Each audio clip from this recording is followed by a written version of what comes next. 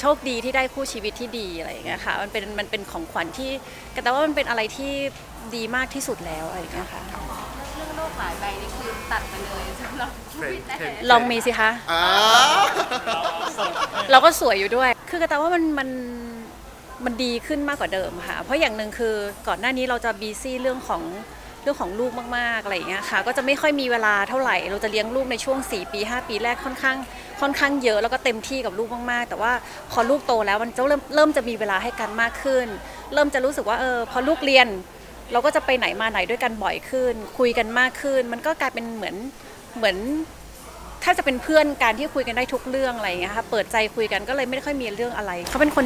จิตใจเอ่อค่อนข้างดีค่ะ เป็นคนที่มองโลกในแง่ดีค่ะ แล้วก็เป็นคนแบบตามใจไว้จดเหมือนกันสุดๆเหมือนกันอวยสุดๆค่ะ มันเป็นระดับเรื่องจริง แต่ถ้ามีคนอื่นล่ะคะอ่า